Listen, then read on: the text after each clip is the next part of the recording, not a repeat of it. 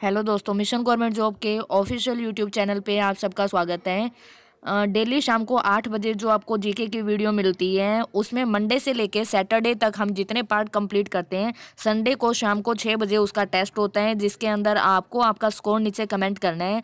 आपको score comment करना है साठ में से, लेकिन वीडियो में कम से कम सौ से ज़्यादा क्वेश्चन होंगे, जो कि आपको रिवाइज करने हैं आज, ठीक है? डेली वीडियो सुना करो, आपकी जी अपने आप स्ट्रॉन्ग हो जाएगी। अब तक टोटल फोर्टी पार्ट अपलोड कर दिए गए हैं और प्ले में ऐड भी कर दिए गए हैं। तो आज का हमारा क्वेश्चन क्वेश्चन है। आप लोग कमेंट ज़रूर करना अपना स्कोर संविधान संशोधन का उल्लेख संविधान के किस अनुच्छेद में है? तो संविधान संशोधन का उल्लेख अगर भाग पूछे तो भाग नंबर बीस में है और अनुच्छेद पूछे तो अनुच्छेद तीन है। ओके? एक में राज्यपाल का उल्लेख है और सौ में लोकसभा का जो अध्यक्ष होता है उसका जो वोट होता है, वो निर्णायक वोट होगा। ये किसमें लिखा गया है? अनुच्छेद सौ में। एक्सप्लेनेशन मैंने डेली वाली वीडियो में आपको दे रखी है। नेक्स्ट है, इंदर किला नेशनल पार्क भारत के किस राज्य में है? तो इसका आंसर हो जाएगा, ये हिमाचल प्रदेश में है। और हिमाचल प्रदेश की कैपिटल है शिमला। गोवा की कैपिटल पंजी है, मध्य प्रदेश की भोपाल है और उत्तर प्रदेश की लखनऊ है। कैनरा बैंक का हेडक्वार्टर कहाँ पर है? तो कैनरा बैंक का हेडक्वार्टर है बेंगलुरु में और बेंगलुरु जो है, वो कर्नाटक की कैपिटल है। ओके नेक्स्ट है,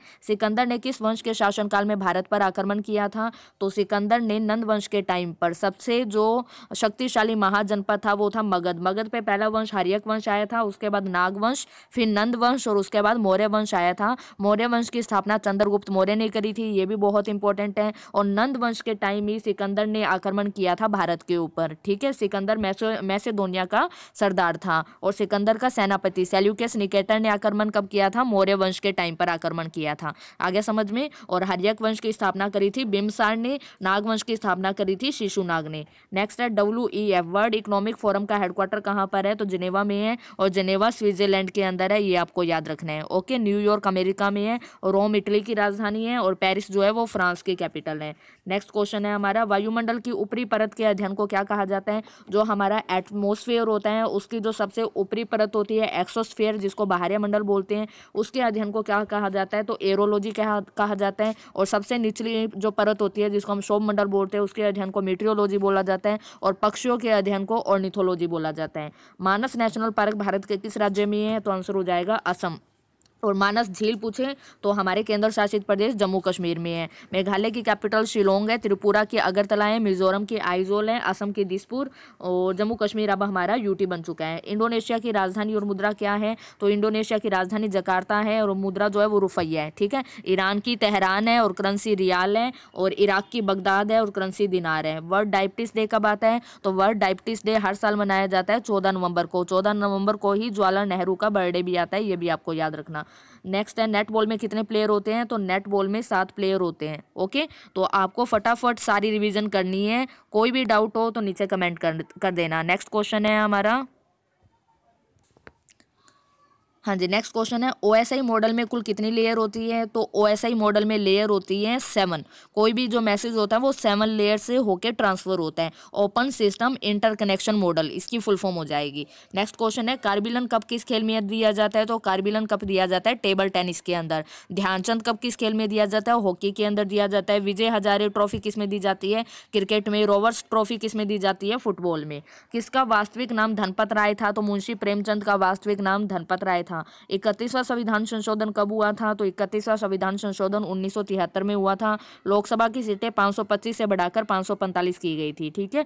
पहला संविधान संशोधन उन्नीस में हुआ था, ये भी आपको याद रखना है। छत्तीसवां संविधान संशोधन उन्नीस में हुआ था। सिक्किम को बाईसवें राज्य का दर्जा दिया गया था और बावनवा संविधान संशोधन उन्नीस में हुआ था। कांग्रेस की स्थापना कब हुई थी? अट्ठाईस दिसंबर अठारह में हुई थी। कांग्रेस की स्थापना ए ओ हयूम ने की थी। नेक्स्ट है, विश्व का सबसे छोटा महाद्वीप कौन सा है? महाद्वीप टोटल कितने कितने हैं सात हैं। सबसे छोटा ऑस्ट्रेलिया है और सबसे बड़ा महाद्वीप एशिया है। भरतनाट्यम किस राज्य का शास्त्रीय नृत्य है? तो भरतनाट्यम कहाँ का है? तमिलनाडु का है। केरल का शास्त्रीय नृत्य पूछे तो कथकली याद रखना और भरतनाट्यम तमिलनाडु का है। तमिलनाडु की कैपिटल चेन्नई है। इंडियन बैंक और इंडियन ओवरसीज बैंक का हेडक्वार्टर भी चेन्नई के अंदर है।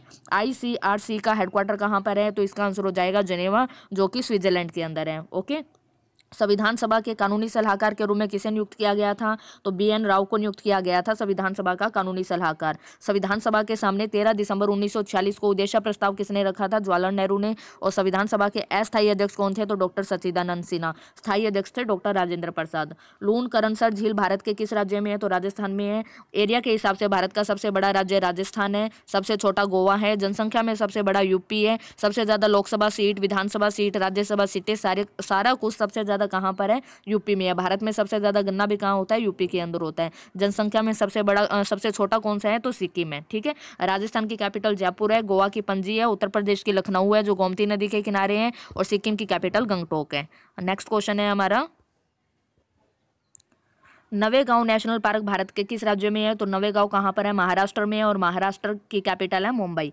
IPCC international panel of climate change का हेडक्वार्टर जनेवा के अंदर है। मैंने जब डेली वीडियो अपलोड करती हूँ तो उसके अंदर आपको जनेवा वाले सारे हेडक्वार्टर मैंने याद करवा दिए हैं। नेक्स्ट है, गोविंद सागर झील भारत के किस राज्य में है? जब मैंने आठ बजे वीडियो अपलोड करी थी तो नीचे कमेंट आया था कि गोविंद सागर झील जो है, वो हिमाचल प्रदेश के अंदर है। अब गोविंद सागर झील मैंने आपको बताया था, पंजाब में है। कई बुक्स में आपको पंजाब मिलेगा, कई बुक्स में आपको हिमाचल प्रदेश मिलेगा, लेकिन आप जब सर्च करोगे तो हिमाचल प्रदेश ही इसका पहला सही आंसर माना जाएगा। उस वीडियो में मैंने गोविंद सागर झील को मैंने पंजाब बताया था, क्योंकि पंजाब के अंदर भी ये मानी जाती है, कई जगह पर जो आंसर माना गया है, वो पंजाब भी सही माना गया है, ठीक है? तो ऑप्शन में अगर हिमाचल प्रदेश ना आए तो आपको पंजाब के साथ जाना है, वरना गोविंद सागर झील कहाँ पर है? हिमाचल प्रदेश के अंदर है ओके तो ये आप ठीक कर लेना। उस टाइम मैं ये बताना भूल गई थी। नेक्स्ट है हमारा चालीसवा संविधान संशोधन कब हुआ? तो चालीसवा संविधान संशोधन हुआ था, जिसके द्वारा संपत्ति का जो मौलिक अधिकार था, उसको मौलिक अधिकार से कानूनी अधिकार बना दिया गया था। वो हुआ था उन्नीस में। बयालीसवां संविधान संशोधन उन्नीस में, बावनवा संविधान संशोधन उन्नीस में हुआ था। संसदीय शासन व्यवस्था कहाँ से ली गई है? ब्रिटेन से ली गई है। ये भी आपको याद रखना है, मौलिक अधिकार कहाँ से लिए गए हैं? अमेरिका से। मौलिक कर्तव्य कहाँ से लिए गए हैं? रूस से लिए गए हैं। बहरीन की राजधानी क्या है? तो बहरीन की राजधानी है मनामा। करेंसी क्या है? दिनार है। ठीक है, मंगोलिया की राजधानी उलान बटोर है और करेंसी है टगरिक्स। मालदीव की राजधानी माले है और करेंसी रुपी है। कारगिल दिवस कब आता है? तो कारगिल दिवस 26 जुलाई को आता है। हिरोशिमा डे कब आता है? 6 जुलाई को आता है। डॉक्टर डे कब आता है? नेशनल डॉक्टर डे आता है एक जुलाई को। कांग्रेस का दूसरा अधिवेशन कब हुआ? तो कांग्रेस का पहला अधिवेशन पिचासी में, दूसरा छियासी में, तीसरा सतासी में और चौथा हुआ था अठारह सौ अठासी में। पहले चारों अधिवेशन याद रखने हैं। माई एक्सपेरिमेंट विद ट्रूथ के लेखक का नाम क्या है? तो वो है महात्मा गांधी। महात्मा गांधी की समाधि का नाम राजघाट है। अर्थशास्त्र में नोबल पुरस्कार किस वर्ष शुरू किए गए? नोबल पुरस्कार की शुरुआत 1901 में हुई थी, अल्फ्रेड नोबल की याद में, लेकिन पहले ये अर्थशास्त्र में नहीं दिया जाता था। अर्थशास्त्र में शुरू किया गया था नाइनटीन में। ओके, नेक्स्ट क्वेश्चन है हमारा। हाँ जी, सरिस्का नेशनल पार्क भारत के किस राज्य में है? तो सरिस्का नेशनल पार्क राजस्थान के अंदर है। तिपानी किस राज्य का फोक डांस है? तो तिपानी गुजरात का फोक डांस है। कोंकण युद्ध अभ्यास भारत और किस देश के बीच होता है? भारत और यूके के बीच होता है। हैंड इन हैंड होता है भारत और चाइना के बीच। और अगर सीधा पूछे युद्ध अभ्यास भारत और किस देश के बीच होता है? तो वो अमेरिका के साथ होता है, ठीक है? नेक्स्ट है हमारा बिस्मिल्ला खान कौन सा वाद्य यंत्र प्ले करते थे? तो शहनाई प्ले करते थे। कॉमन सा क्वेश्चन है, सबको याद होगा। राइडर कप किस खेल में दिया जाता है? तो गोल्फ में दिया जाता है। एजरा कप किसमें दिया जाता है पोलो में दिया जाता है। जिम्नास्टिक में कितने प्लेयर होते हैं? तो जिम्नास्टिक में आठ प्लेयर होते हैं। इकसठवां संविधान संशोधन 1989 में हुआ था। बयालीसवां, उन्नीस में चालीसवां उन्नीस में। इसके द्वारा मतदाता की उम्र इक्कीस साल से घटा के अठारह साल की गई थी। कांग्रेस का दूसरा अधिवेशन कब कहाँ हुआ था? तो पहला मुंबई में हुआ था, अठारह में। दूसरा कलकत्ता में हुआ था, तीसरा मद्रास में हुआ था और चौथा इलाहाबाद में हुआ था। वर्ल्ड ओलंपिक डे कब आता है? तेईस जून को आता है। विश्व योगा दिवस इक्कीस जून को आता है और विश्व पर्यावरण दिवस पाँच जून को आता है। WIPO का हेडक्वार्टर कहाँ पर है? तो इसका आंसर हो जाएगा जिनेवा के अंदर है world intellectual property organisation. Okay? थोड़ा फास्ट कर रहे हैं हम, क्योंकि ये टेस्ट है, आपको सिर्फ़ रिविजन करानी है, ताकि एक हफ़्ते में जो हमने किया है, आपको एक्स्ट्रा ना पढ़ना पड़े, हमारी वीडियो सुनकर ही आपकी रिविजन हो जाए। ओके? नेक्स्ट क्वेश्चन है हमारा। सुंदरबन नेशनल पार्क भारत के किस राज्य में है? तो सुंदरबन कहाँ पर है? पश्चिम बंगाल में और पश्चिम बंगाल की कैपिटल कोलकाता है। धोलेरा इंटरनेशनल एयरपोर्ट भारत के किस राज्य में है? तो धोलेरा में ही है और धोलेरा कहाँ पर है? गुजरात के अंदर है। देवी अहिल्याबाई इंटरनेशनल एयरपोर्ट कहाँ पर है? मध्य प्रदेश के इंदौर के अंदर है। चौधरी चरण सिंह इंटरनेशनल एयरपोर्ट कहाँ पर पड़ेगा? तो वो उत्तर प्रदेश की कैपिटल लखनऊ के अंदर है। चौधरी चरण सिंह की समाधि का नाम किसान घाट है। अमजद अली खां कौन सा वाद्य यंत्र प्ले करते थे? तो इसका आंसर हो जाएगा सरोद प्ले करते थे वो। कांग्रेस के दूसरे अधिवेशन में अध्यक्ष कौन कौन थे? पहले मैंने आपको कांग्रेस की स्थापना बताई, फिर चारों अधिवेशन कब हुए, कहाँ पर हुए? अब चारों के अध्यक्ष याद रखने हैं। पहले अधिवेशन में अध्यक्ष थे डब्ल्यू सी बनर्जी दूसरे में दादा भाई नरोजी, तीसरे में बदरुद्दीन तैयब जी, ठीक है? आपको तीनों अधिवेशन के अध्यक्ष याद रखने हैं। अभी नेक्स्ट पार्ट के अंदर आपको चौथे अधिवेशन का अध्यक्ष भी पता चल जाएगा। अगर पूछे कांग्रेस के पहले पारसी अध्यक्ष कौन थे तो दादा भाई नरोजी थे। कांग्रेस के पहले मुस्लिम अध्यक्ष कौन थे तो बदरुद्दीन तैयब तैयब जी थे, ओके? नेक्स्ट है डाउंस नामक घास का मैदान कहाँ पर है? ऑस्ट्रेलिया में है। ऑस्ट्रेलिया की कैपिटल कैनबरा है।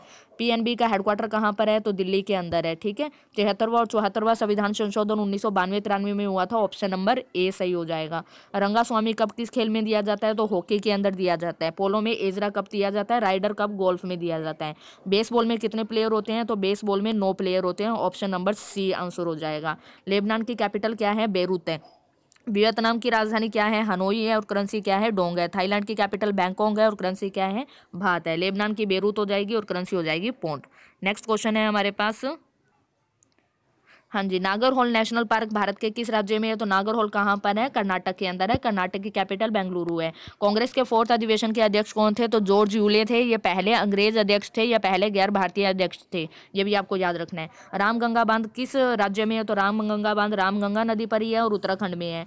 I A international atomic energy agency का हेडक्वार्टर कहाँ पर है? तो इसका हेडक्वार्टर वियना के अंदर है और वियना ऑस्ट्रिया की कैपिटल है। ओपैक का हेडक्वार्टर भी यहीं पर है। पंजाब और सिंध बैंक का हेडक्वार्टर दिल्ली में है। पंजाब नेशनल बैंक का हेडक्वार्टर भी दिल्ली के अंदर है। सिंधिया, कब किस खेल में दिया जाता है? तो ये आपका होमवर्क क्वेश्चन रहेगा। ऑलरेडी मैं करवा चुकी हूँ। सबने नीचे कमेंट करना है। इसका आंसर क्या होगा?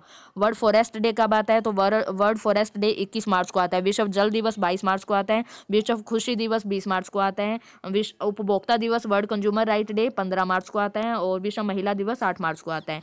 उत्तर कोरिया की राजधानी प्योंगयांग है और करंसी वोन है। दक्षिण कोरिया की सियोल है और करंसी वोन है। एस बालचंद्रन कौन सा वाद्य यंत्र प्ले करते थे तो वो वीना प्ले करते थे। ऑप्शन नंबर बी इसका आंसर हो जाएगा। एनोर बंदरगाह भारत के किस राज्य में है? तो एनोर बंदरगाह कहाँ पर है? तमिलनाडु के अंदर है ओके पारादीप बंदरगाह कहाँ पर है? उड़ीसा के अंदर है। तो ये हमारी आज की वीडियो थी। काफ़ी सारे क्वेश्चन मैंने आपको रिवाइज करा दिए जी के जितनी ज़्यादा रिवाइज करोगे, उतनी ज़्यादा टाइम तक आपको याद रहेगी। वीडियो कैसी लगी? कमेंट ज़रूर करना। पसंद आए तो लाइक और शेयर ज़रूर करना। Thank you